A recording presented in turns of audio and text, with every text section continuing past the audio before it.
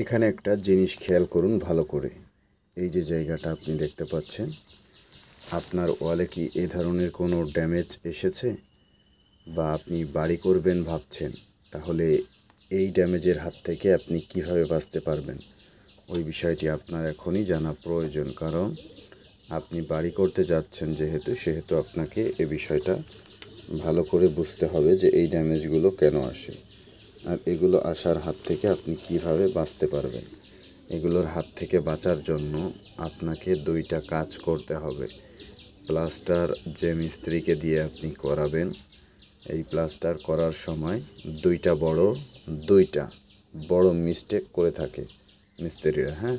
এই দুইটা মিস্টেক যদি করে, তাহলে আপনার বিল্ডিংয়ে মাস্ট বি এই ধরনের ড্যামেজ চলে আসবে। তো এই ড্যামেজের হাত থেকে বাঁচার জন্য প্রথমত মিস্ত্রিকে আপনাকে বলতে হবে যে শুকনা, যে এরকম শুকনা মাটি আছে যেগুলোকে বলে ভুরা বালি বা সিমেন্ট দিয়ে যে মশলাটা মিশ্রণ করে মিশ্রণ মিশ্রণ করার পর ওই যে মশলাটা থাকে, ওই পানি ব্যবহার না করে যে মশলাটাকে রেখে দেয়, ওই মশলাটা যেন কখনোই প্লাস্টারের সময় আপনার ওয়ালে না লাগায়।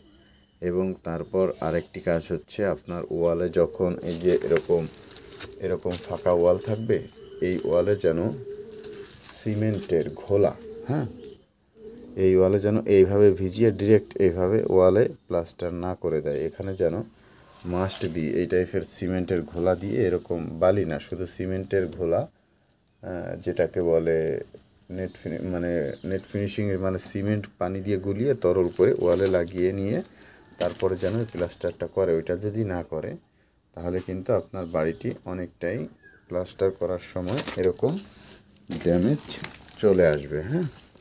এই ড্যামেজের হাত থেকে বাঁচার দুইটাই উপায়। এক হচ্ছে আপনাকে ওয়ালে ঘোলা ব্যবহার করতে হবে নিচে, আর তার উপরে প্লাস্টারে ভুরা বালি ব্যবহার করা যাবেই না। এই দুইটা কাজ যদি আপনি সঠিকভাবে করাতে পারেন, তাহলেই আপনার ওয়ালটা টিকে থাকবে অনেক দিন এই ধরনের ড্যামেজের হাত থেকে বাঁচতে হলে ওই কাজটা আপনাকে অবশ্যই করতে হবে। তো এই ছিল আজকের মতো ভিডিও। ভিডিওটি যদি আপনাদের কাছে ভালো লেগে থাকে, তাহলে আমাদের আইডিটি ফলো দিয়ে রাখতে পারেন। এরকম অনেক ইম্পর্টেন্ট ভিডিও আসবে, যেগুলো প্রতিনিয়ত আপনার বাড়ি নির্মাণে আপনাকে সাহায্য, সহযোগিতা করবে। তো আমি কিছুদিন আগে একটি ভিডিও করেছিলাম, একদিন বা দুই দিন আগে। এটা বলেছিলাম যে এটা কেন রাখা হয়। তো এটা রাখা হয় মূলত ব্রিক ফাউন্ডেশনের ঘরে, এটা যদি আপনি পরবর্তীতে এই সাইড দিয়ে আরও ঘর করতে চান, আপনি এই ওয়ালটাকে ব্যবহার করতে চান, অন্য ওয়াল দিতে চাচ্ছেন না এর সাইডে, সেক্ষেত্রে এটা না রাখলে ওই যদি পরে গাঁথনি করা হয়, তো ওখানে অ্যাডজাস্ট হতে চায় না হ্যাঁ? অ্যাডজাস্ট করে রাখার জন্য এটা দেওয়া হয়।